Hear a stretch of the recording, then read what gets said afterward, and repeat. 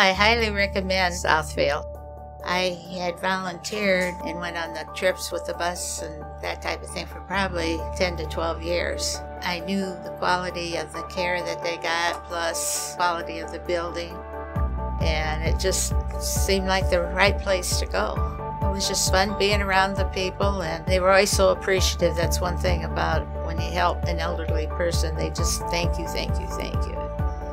Everybody that's been there to my place really likes it. I think it's great. You don't have to worry about paying this bill and the next bill and all that. Just one check a month and that's it. I tell everybody that I know how great it is. and then they see it and uh, they really think it's great. Yeah, I got to pick out the cabinets and the carpet. It's really nice and pretty. Everybody was real envious of my carpet.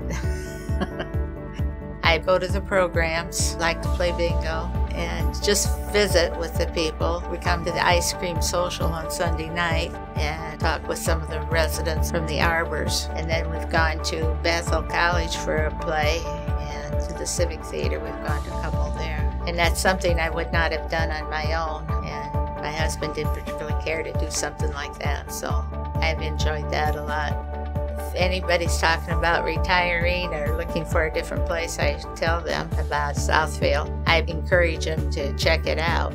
It's just a nice place to live.